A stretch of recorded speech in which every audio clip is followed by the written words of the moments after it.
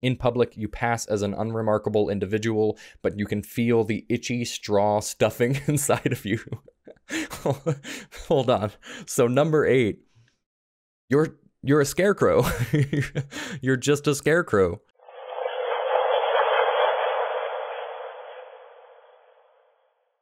Hello players and GMs, I am Reese, and welcome to another video by Jetpack 7.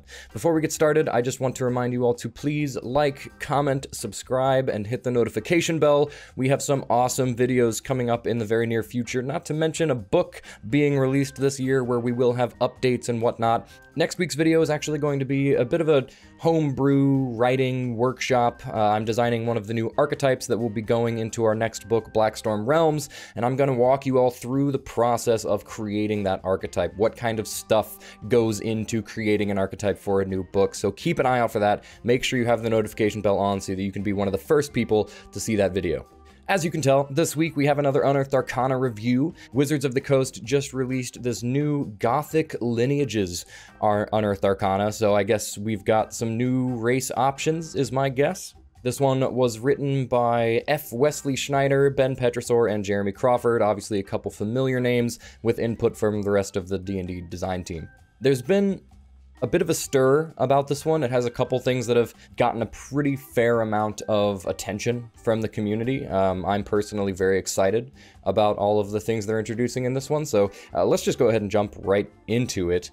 Um, as you can see here, the three options are the Dhampir, uh, which is some vampire stuff, I guess.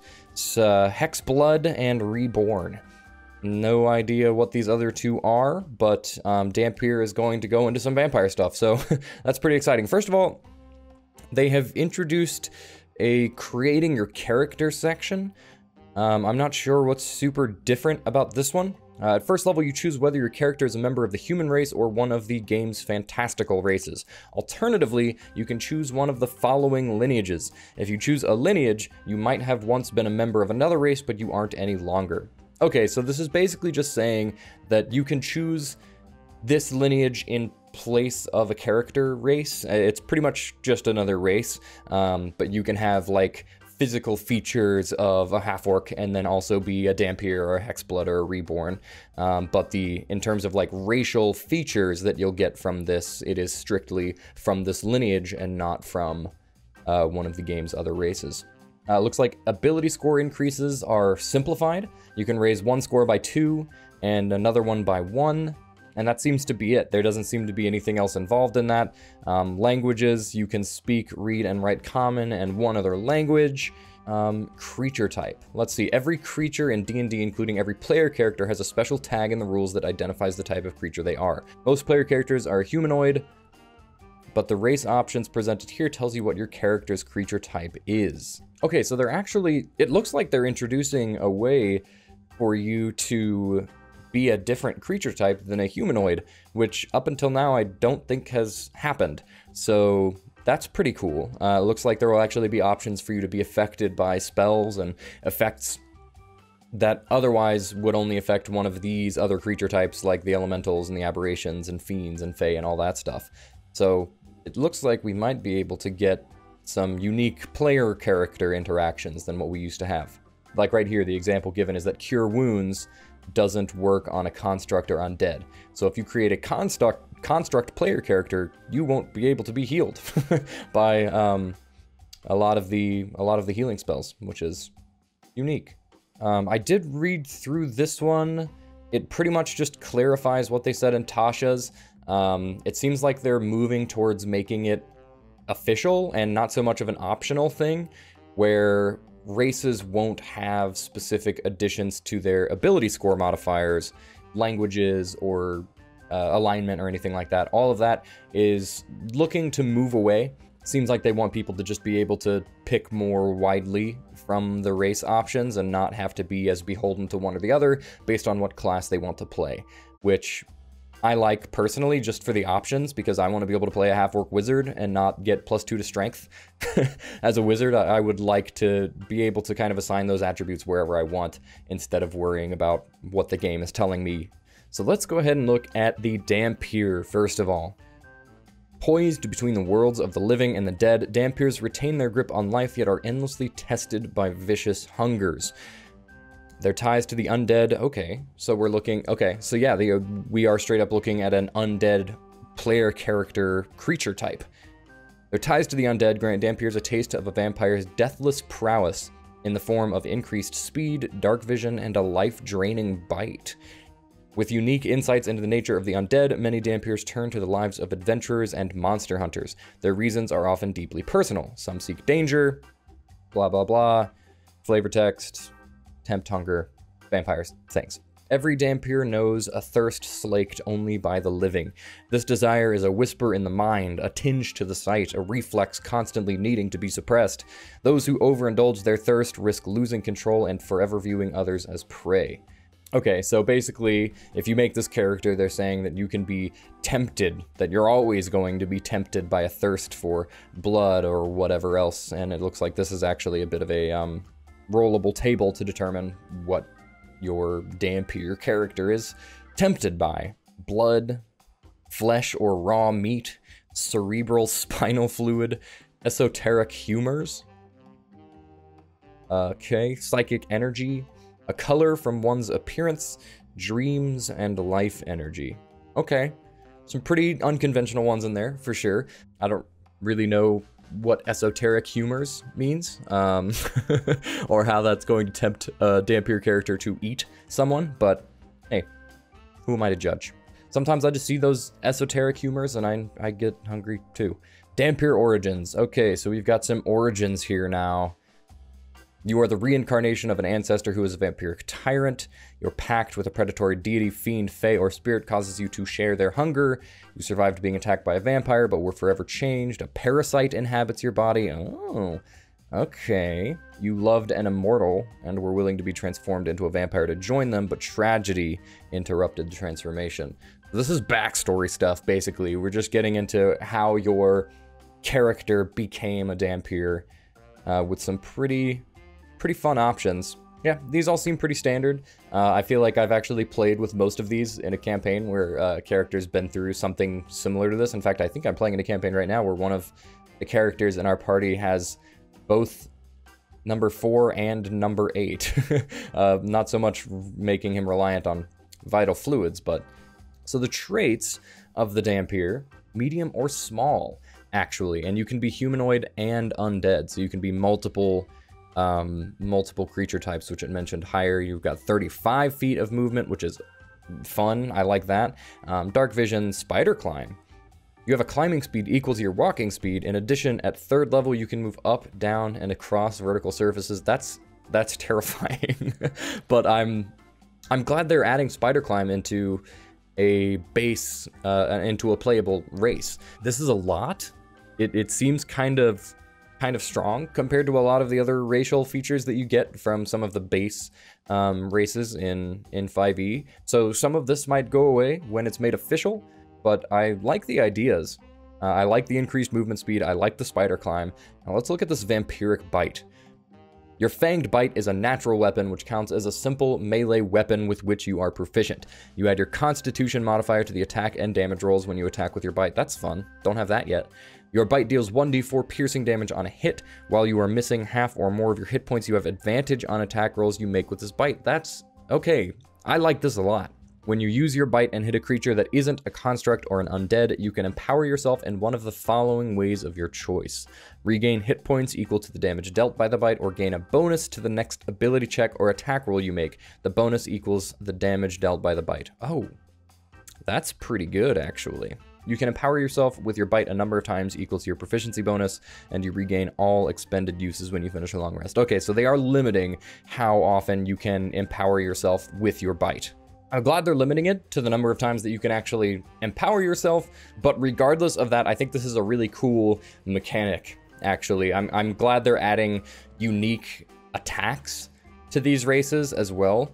It seems like they're wanting to uh, make the playable character options a little bit more um, variable. They're adding a bit more variety into the player character options, which is really exciting to me. And it's actually making me want to play one of these races. Uh, whereas in kind of base 5e, it was kind of It was more determined by what attributes I got. Uh, before they changed all this stuff, it was just kind of like, what what attributes did I get? What kind of nice features did I get? Every now and then there were some that are really strong and others that are pretty underwhelming. These in particular add enough variety and actual new and unique interactions with mechanics that didn't exist before. So I am actively interested in playing these, which is pretty exciting. All right, so that's the Dhampir. Let's look at Hexblood. I have no clue what this one is. Where wishing fails, ancient magic can offer a heart's desire, at least for a time. Hexbloods are individuals infused with eldritch magic, fey energy, or mysterious witchcraft. Some who enter into bargains with hags gain their deepest wishes, but eventually find themselves transformed.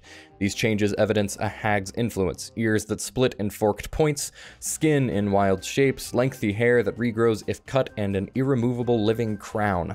Okay, so this is. Are you a hag? Okay, I'll, I'll read this in a second.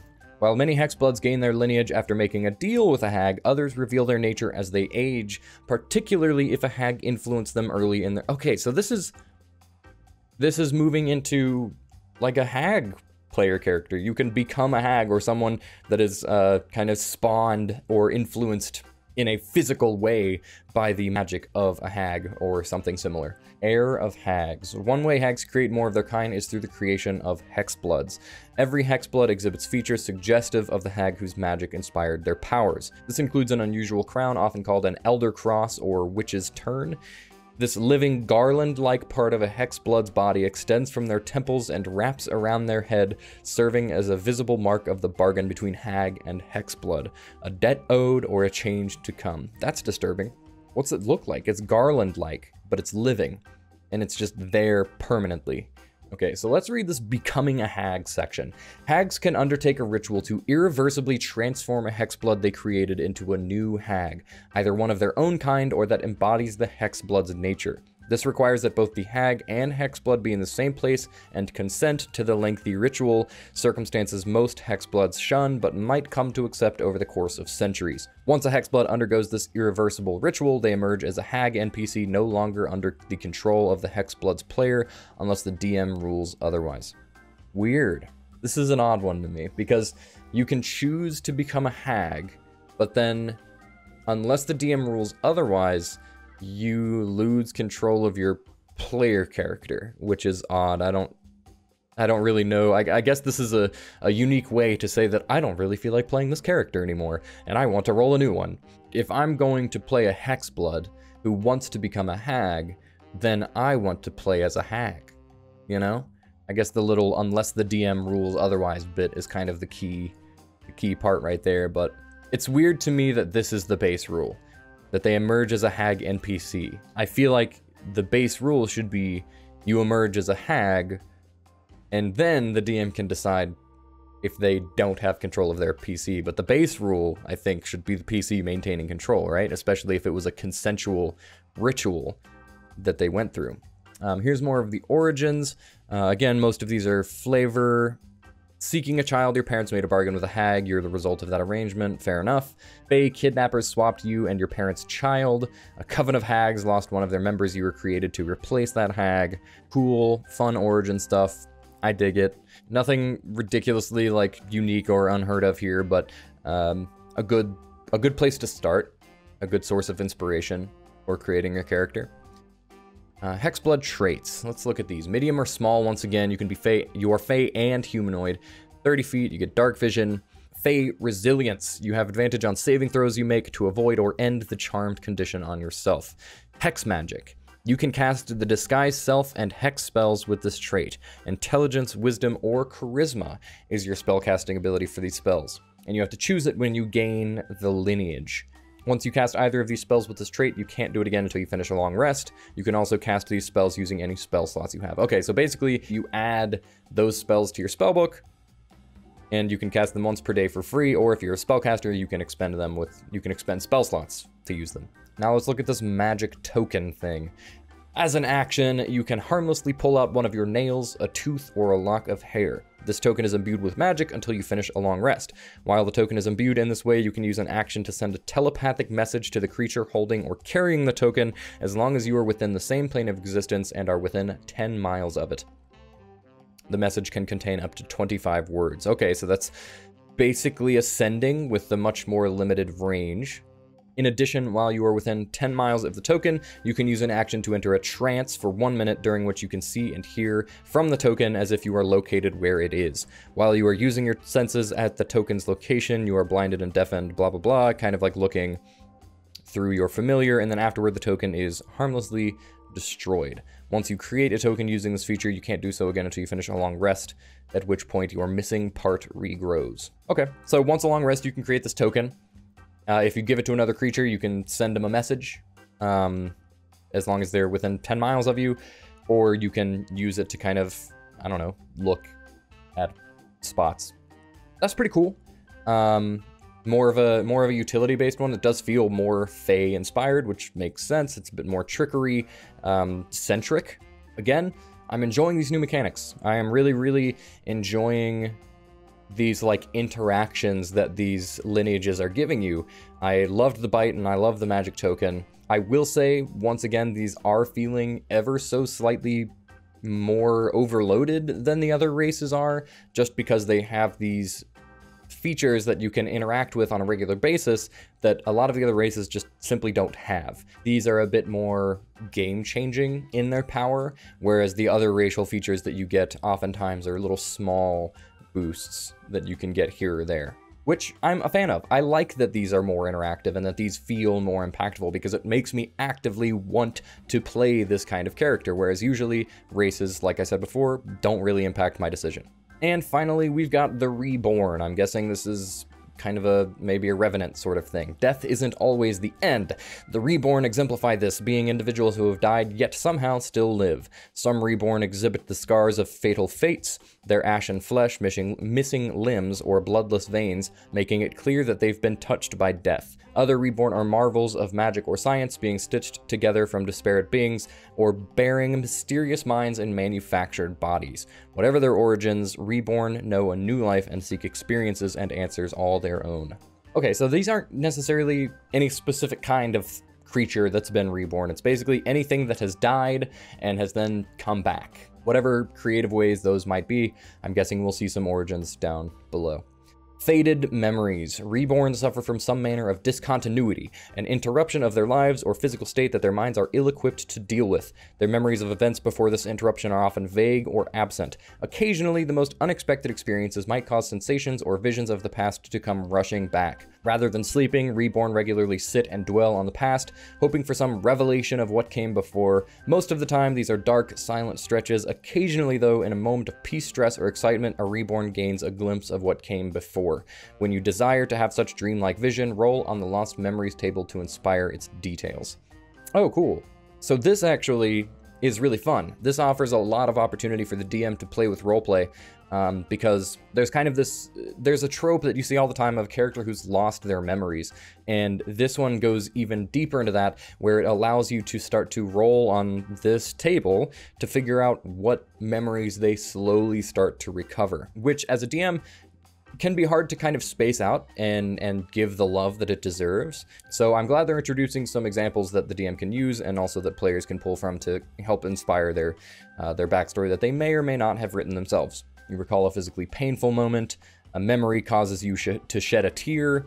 You recall a childhood memory. A memory brings with it the voice of someone once close to you. You recall enjoying something that you can't stand doing now. Okay, yeah, so these basically ask questions just to help inform the DM of what memory this character is having. I like that a lot because this is one of my favorite things to do. Um, one of my players in the campaign I just finished running a couple months ago um, he was playing a character who had lost all of his memories uh, from like a pretty much a previous life. He was actually very similar to this, and uh, I slowly started introducing bits and pieces of his backstory. Sometimes it went over really well, other times it wasn't as impactful as I would have liked. And these are all really nice guidelines to kind of get the DM thinking about what those memories actually contain. And um, it's helpful having something like this to help you get more specific with what you want to do, and this can lead you in a good direction. Uh, and here's some of the origins. You were magically resurrected, but something went wrong. Stitches bind your body's mismatched pieces, and your memories come from multiple different lives. Ooh, I like that one. Stitches bind your body's mismatched pieces, and your memories come from multiple different lives, implying that you are not one person, you are several people stitched together. That is fun. After clawing free from your grave, you realized you have no memories except for a single name. You were a necromancer's undead servant for years. One day, your consciousness returned. That's fun. You awoke in an abandoned laboratory alongside complex designs for clockwork organs. You were released after being petrified for generations. Your memories have faded, though, and your body is not what it once was. Your body hosts a possessing spirit that shares its memories and replaces your appendages with phantasmal limbs. In public, you pass as an unremarkable individual, but you can feel the itchy straw stuffing inside of you. Hold on. So number eight, you're you're a scarecrow. you're just a scarecrow, which I know is an actual type of creature in D&D, but that is really really funny. So so this means that the lion, the scarecrow, and the tin man are all reborn. So uh if anyone runs an adventure with just a reborn party, you've already got a plot written out for you. Reborn traits. Humanoid as well as construct or undead, so you can choose one or the other. Medium or small, again, you get to choose. Speed 30 feet, dark vision, deathless nature. You have escaped death, a fact represented by the following benefits. Oh, here we go. You have advantage on saving throws against disease and being poisoned, and you have resistance to poison damage. Wow. Oh, that's already really strong right off the bat. You have advantage on death saving throws. You don't need to eat, drink, or breathe. You don't need to sleep, and magic can't put you to sleep. You can finish a long rest in four hours if you meditate, basically. Wow. Okay, so that's actually a lot. That's a lot of benefits right there. It makes sense because you are either a construct or undead, and constructs or undead have all those features pretty much throughout 5e. But in a player character format, having advantage on death saving throws, as well as being resistant to poison damage and having advantage on saving throws against disease and poison, all of that combined into one player character just from a race uh, feature is really crazy. And this could be it. Uh, this could be the only feature that you have. Everything else could go away, and you'd still be one of the stronger races for sure. That's crazy. Uh, I think some of those might get removed. Uh, they again, they make sense thematically and mechanically. They make sense, but I think it's just a lot.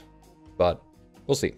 And lastly, knowledge from a past life. You temporarily remember sporadic glimpses from the past, perhaps faded memories from ages ago or previous life. When you make an ability check that uses a skill, you can roll a d6 and add the number rolled to the check. You can use this feature a number of times equal to your proficiency bonus, and you regain all expended uses when you finish a long rest. Wow, okay. So not only do you get all this stuff, you can also, proficiency bonus times a day at least, add a d6 to any skill check that's pretty strong. Um, not crazy, honestly, because it's a d6 and it's only a number of times equal to your proficiency bonus between long rests, so not game-breaking by any means, and especially because it's just a skill check, it's not going to be too wild. Um, I like this one. It's kind of hinting at having these skills in the previous life that you don't remember. However, I think I'd like to see them make it a little bit more specific. Um, maybe when you gain this lineage, you can pick a few skills that you had in a past life. Maybe it's the ones you're proficient with, and um, those are the ones that you've got from your past life. I don't know, but making it kind of just any skill check feels almost counter counterintuitive to what this to what this race wants to do. Um, but combined with all this stuff, I mean, this is a very potent racial feature. uh, no doubt. I think this one is probably the strongest of the three um, from a mechanical advantage standpoint. You have having advantage on death saves is just so ridiculous because you already have death saves to begin with. That is one of the biggest complaints about 5e from people who have played uh, previous editions is that death saves and just the what it takes to die as a player character in 5e is already a lot. And so adding in a race that makes it even more difficult, I get that there aren't other races that do that, so this is like the specific one that does that, but that's really, really strong either way. So I'd maybe like to see a couple of these things disappear, maybe just this bit. I think if they just had um, the first the first feature and then the second and th- or the third and fourth feature, then that would be a lot more balanced. And then um, having knowledge from a past life would be totally fine, while also making it maybe a little bit more specific to fit the thematic of the race, of the lineage a little bit better. But um, otherwise, I really like it, and I like all three of these. Uh, I, I've said it multiple times already, but I actually want to play these races, which is the first time I've really felt that. Um, I haven't been particularly attached to one race or the other. When I create a character, I think of where they came from, and then I usually base the race off of that, where these people might be, uh, whatever race it is. If I want to be in a character from the woods or something, then I could be a wood elf, or if I want to be um, a half orc or something like that, you know, there's that's kind of what determines my race more than actual just desire to play that race. So reading these um, excites me for the future of 5e because I think they're taking race in a direction that makes it more enticing and can actually be a more vital part of character creation rather than just being like, here's a couple attributes, here's the, the ability score bonuses that they get, and that's what every single one of these classes is going to be or at least the large majority of them. So I really like where this is going. Again, none of this is official yet, and obviously they're uh, just announcing uh, their their next book, and I doubt these will be in it. So um, you probably won't see these being printed in anything anytime soon. But otherwise, I like the direction they're taking.